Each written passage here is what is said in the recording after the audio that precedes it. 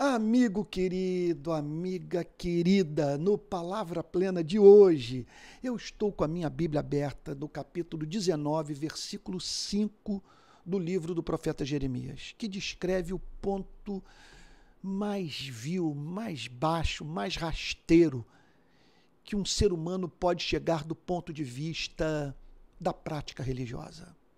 Olha o que ele declara edificaram os altos de Baal, que significa que o povo de Israel foi visto construindo altares para uma divindade pagã cultuada na região de Canaã, chamada Baal. Pergunta: realmente nós somos o que pensamos, né? Porque, olha só, o que Baal pedia dos seus adoradores. Olha o que o profeta diz e que foi incorporado por Israel às suas práticas religiosas. Para queimarem os seus filhos no fogo em holocaustos a Baal. Palavras minhas, literalmente. E aí então Deus usa o profeta para dizer: O que nunca lhes ordenei, nem falei, nem passou pela minha mente. Israel havia se esquecido da advertência que o próprio Deus havia feito ao seu povo. Vocês vão atravessar o Jordão para ocupar a terra de Canaã, de fato, terra da promessa, contudo, na qual habitam seres humanos perversos. Existe isso? Existe. Existe. Imagine uma pessoa, vou pegar o exemplo mais radical uma pessoa no século passado, nos anos 30, no, na primeira metade dos anos 40, indo morar na Alemanha de Hitler, sob os efeitos da cultura nazista. Sabe? Você teria que tomar é, precauções a fim de não ser levado por aquela onda totalitária das mais perversas de toda a história da humanidade. Uma nação que havia enlouquecido. Então, isso existia e existe nos dias de hoje. Tem sociedades que, nesse momento, são regidas, em grande parte, por valores que representam verdadeira afronta à dignidade humana e à santidade de Deus. Então, foi dito a Israel: não permitam que a visão de mundo dos cananeus seja incorporada por vocês à sua teologia. É, não assumam a sua cultura. Não é, desenvolvam os seus hábitos e muito menos suas práticas religiosas. E aí então Jeremias encontra Israel tornado indistinguível do povo de Canaã, deixando de ser sal da terra e luz do mundo, deixando, portanto, de mostrar a excelência da sua revelação, sabe? A singularidade do seu chamado, a beleza do seu Deus. E aí Jeremias, tomado de indignação, se levanta simplesmente para dizer: vocês serão julgados por Deus. Tanto vocês quanto os cananeus. Bom, vamos lá. Eu gostaria de pedir, a essa altura, os mais perspicazes já estão fazendo as ligações com o que é ensinado hoje na academia em alguns cursos de antropologia, de sociologia, e que já contaminou o pensamento teológico de algumas igrejas. Olha as lições que são óbvias. Vê se você concorda comigo. Eu tirei cinco lições daqui, desse versículo. Que, que, que, ele, que essa passagem deixa subentendidas. Vamos lá? Primeira delas. O relativismo antropológico é um ato de insanidade. Veja, que respeito à cultura de uma outra nação é essa que me impede de declarar o que penso e de reconhecer a superioridade da minha cultura perante uma outra que tem como traço o que avilta a dignidade humana e que provoca a santidade divina, exigindo que Deus julgue toda uma sociedade. Eu sei que o oposto pode ocorrer. De eu lidar com uma cultura que é mais sadia do que a minha. Eu sei que existe colonialismo cultural, tentativa de, imposi de imposição sabe, do que considero valores absolutos da minha cultura e que não tem nada de, de metafísicos. Não estão, assim, necessariamente estribados no caráter de Deus, ou melhor dizendo, é, não tem que ser vistos como, nesse, como, como implicação lógica do vero conhecimento do caráter de Deus. Está entendendo o ponto? Agora, essa passagem, eu vou dizer, a razão, em especial a razão iluminada pela verdade, exigem que reconheçamos que o relativismo antropológico, sabe, que é um devaneio.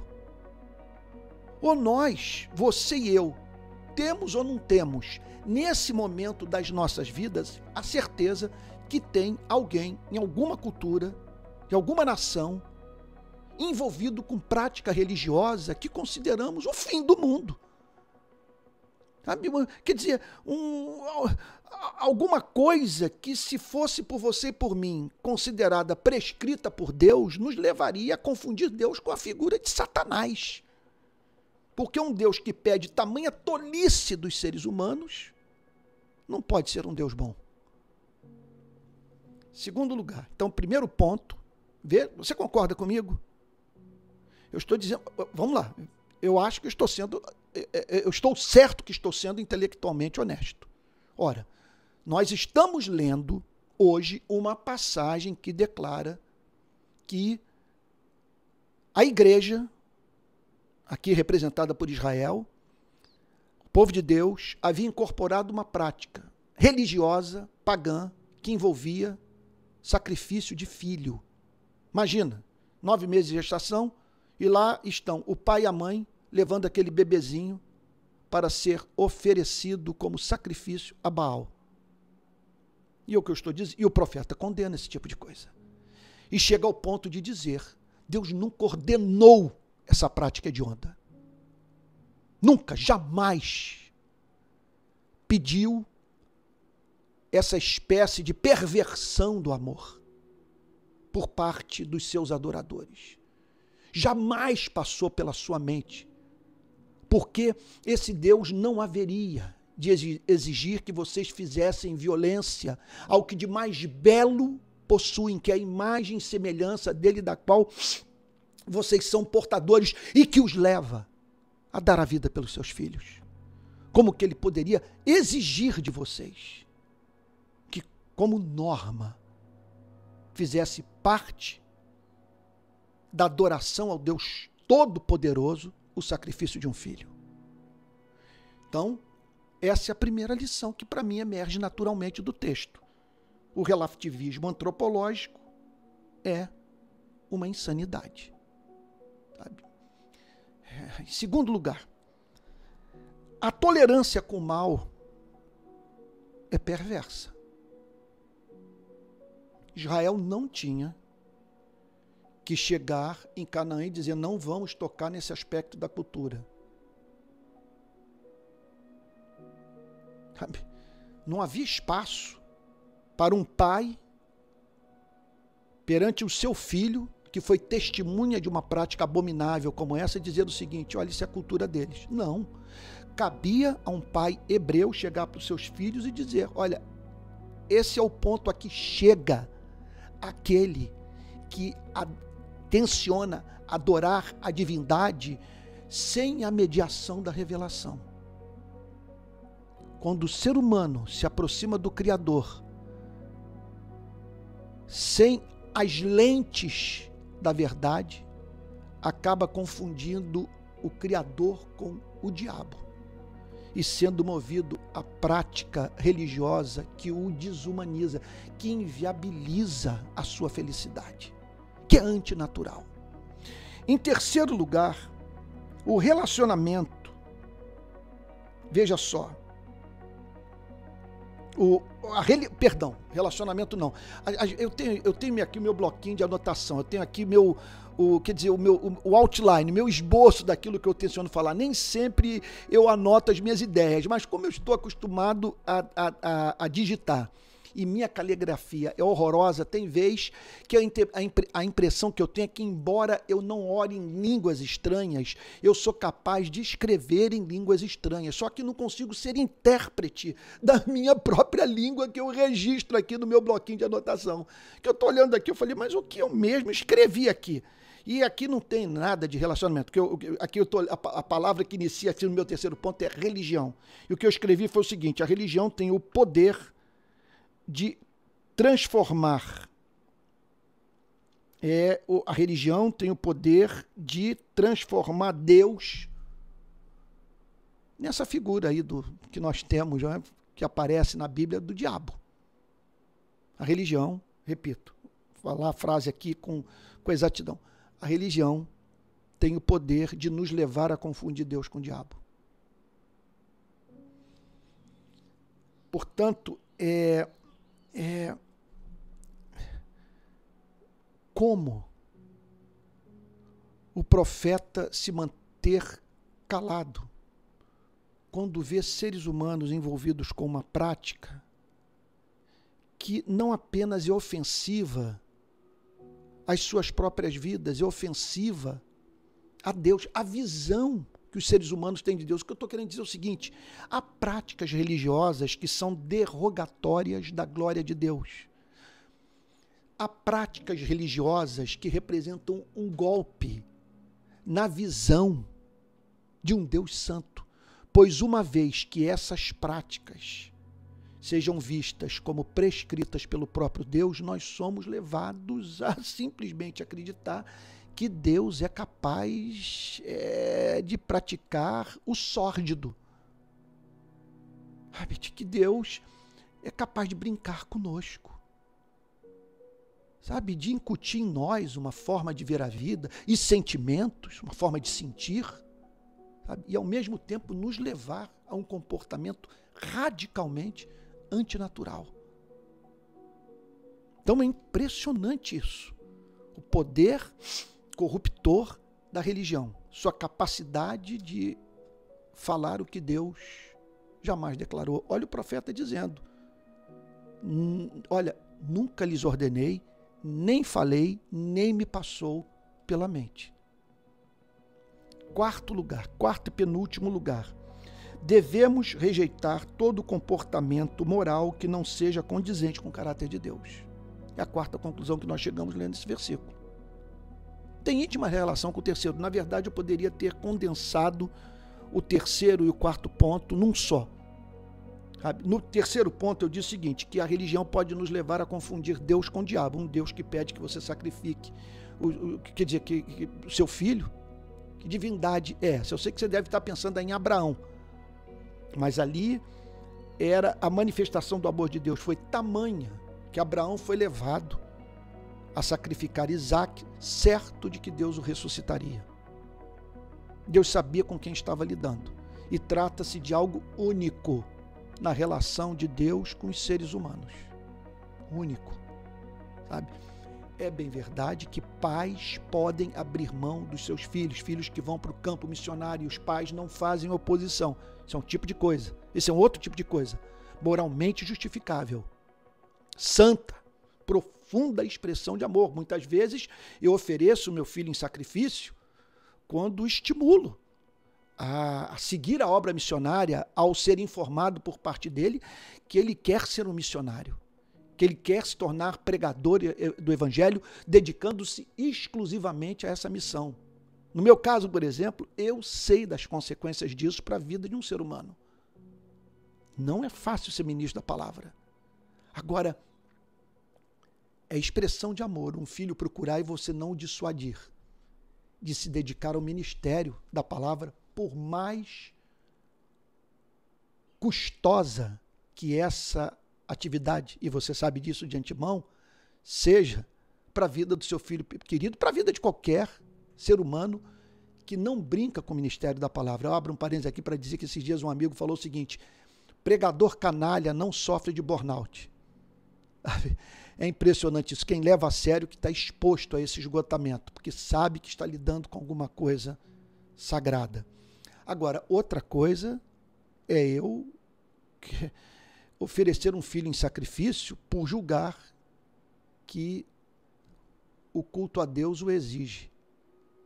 Que essa é a única forma de eu ganhar o seu favor, de eu, de eu demonstrar para ele o meu amor pelo Deus ao qual eu cultuo. Isso é uma, é uma, uma loucura. Então, o que eu estou. Então, isso foi o que eu disse no terceiro ponto. Agora, como corolário desse terceiro ponto, que nós podemos ser levados a confundir Deus com o diabo, aliás, eu, eu diria também o seguinte: que o objetivo do reino das trevas na sua e na minha vida não é nos levar para a prática de um pecado específico aí qualquer, não. Sabe? Porque o que ele quer é que de uma forma ou de outra, nós odiemos a Deus. Sabe? A, a meta não é você se tornar abstêmio ou alcoólatra, se tornar casto ou um tarado. A meta é você não amar a Deus. E para tal, é, é, é o objetivo das forças das trevas fazer com que você confunda Deus com o diabo, com que você não veja o mínimo sentido em prestar culto a Deus. Então você pense, o que representava para o povo da aliança,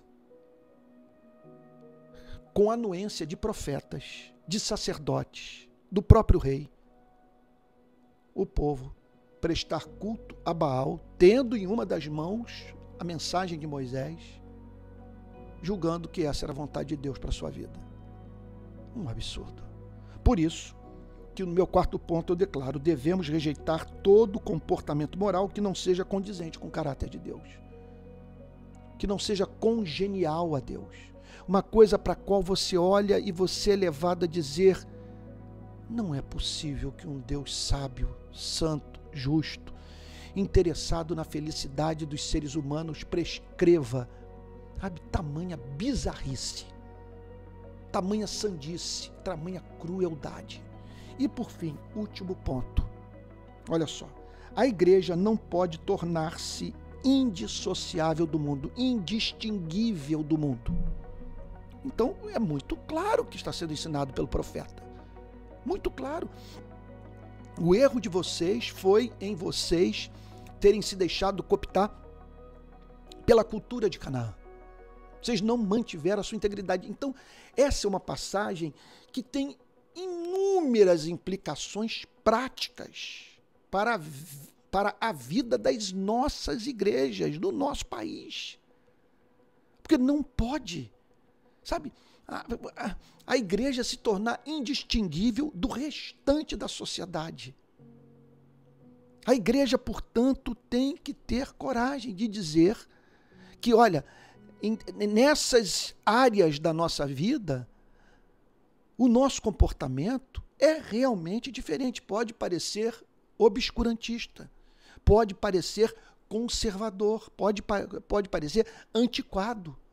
Mas nós entendemos que o amor exige que nós expressemos esse mesmo amor por meio de uma administração sabe, dessas áreas da nossa vida que é diametralmente oposta ao modo como é, essas mesmas áreas são administradas por aqueles que não conhecem a Cristo. Então é evidente que é uma forma de lidar com dinheiro que é essencialmente cristã.